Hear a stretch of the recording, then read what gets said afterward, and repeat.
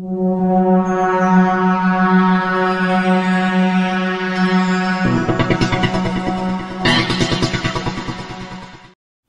to the Nicolas 11x12 technology. Today we're looking at the Gigabyte F2 A88XM DS2 motherboard. This is an FM2 Plus socket board with the flagship AMD A88X chipset for the coming Kaveri APUs. In the box is the motherboard itself, the I.O. shield, two SATA cables and the manuals with the driver CD. But I'd recommend downloading the latest drivers from the Gigabyte website.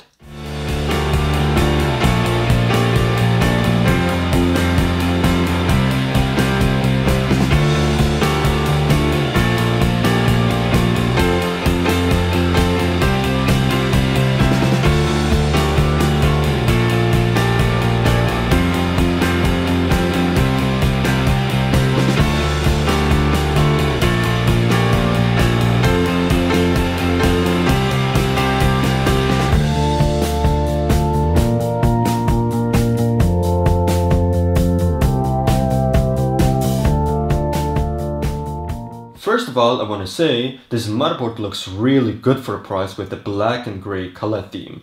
The PCB isn't black, but it's dark brown.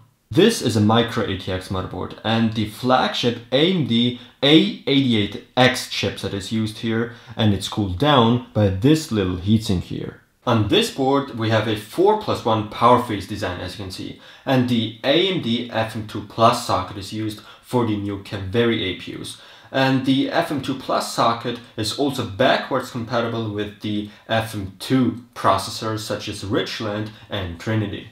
Right here we have two DDR3 DIMMs that support the dual channel technology and as for the frequencies DDR3 1333, 1600, 1866, 2133 as well as 2400 MHz at OC is supported. As for the expansion slots, we have a PCIe 3.0 X16 slot right here, but to use PCIe 3.0, you will need an FM2 Plus APU.